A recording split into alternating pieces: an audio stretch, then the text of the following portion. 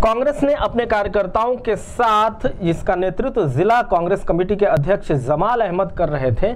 सभी ने अंबेडकर चौराहा स्थित बाबा साहब की मूर्ति पर माल्यार्पण किया और उनकी नीतियों पर चलने की कस्में खाई। गोरखपुर न्यूज़ से बात करते हुए कांग्रेस के जिला अध्यक्ष जमाल अहमद ने कहा कि बाबा भीमराव अंबेडकर पर सबसे पहला अगर किसी का हक है तो है कांग्रेस का। इस संदर्भ में आगे उन्होंने बताया बाबा साहब अमर रहे बाबा साहब अमर रहे भारत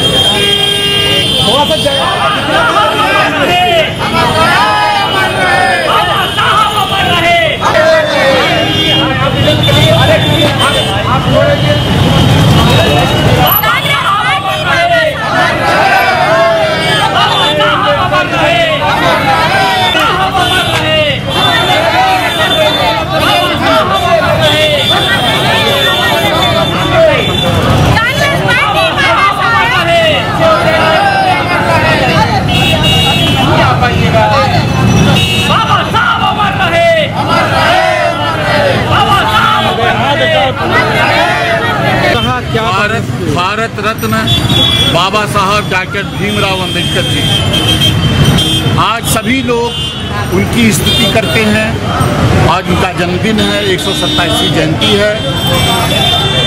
सबसे पहला हक बाबा साहब के नाम लेने का किसी का है तो कांग्रेस पार्टी का।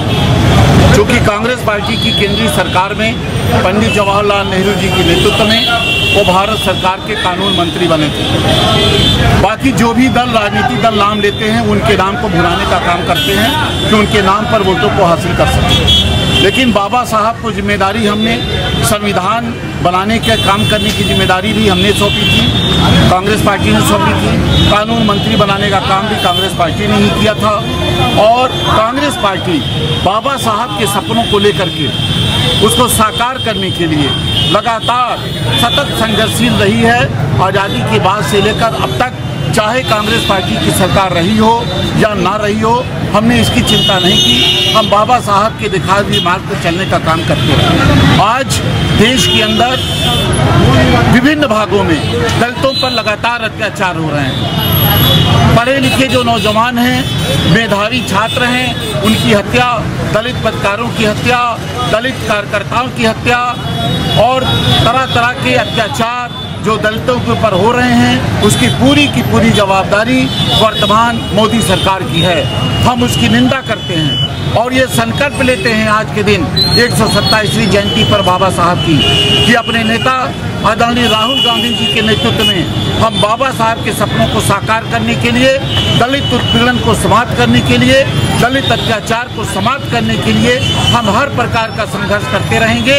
और ये संकल्प लेते हुए हमने बाबा साहब की मूर्ति पर माल्यार्पण करने का कार्य आज जिला और महानगर कांग्रेस कमेटी के लोगों ने गोरखपुर में किया।